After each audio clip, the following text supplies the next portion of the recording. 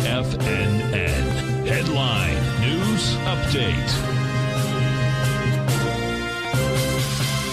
Welcome, folks. We are the Dow Industrials finished down 368. Nasdaq off 278. S&P's down 68. Gold, gold contract down two dollars fifty cents, trading at 19.53 an ounce.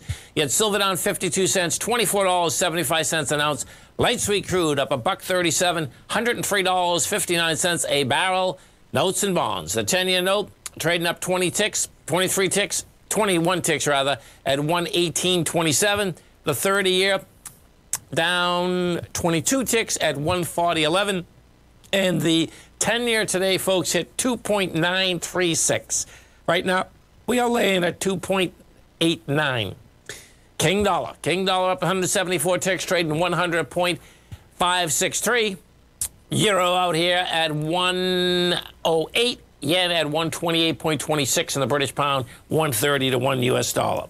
We get over and we take a look at the S&P, folks, what they have out here. You get a failure on price, failure on volume, all, all the whole ball of wax. You got to a higher high, couldn't handle price, wants lower price, and it's going to go right after this B point of an ABC structure down.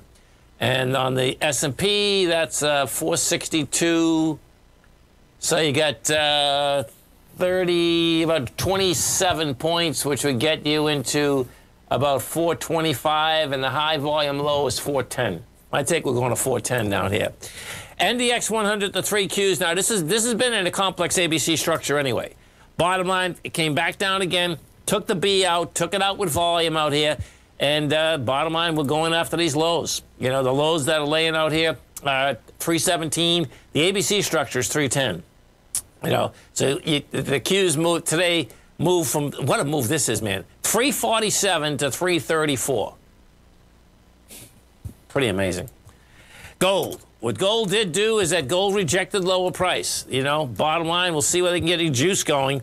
Uh, it only ended up being down two bucks. You know, we had got the 11, got the 1938, closed out at 1953 and uh, notes and bonds. We got to get over the note and bond. This is what's moving everything. Powell moved this market out here today with the aspect saying, hey, in May, you get a half point that's on the table.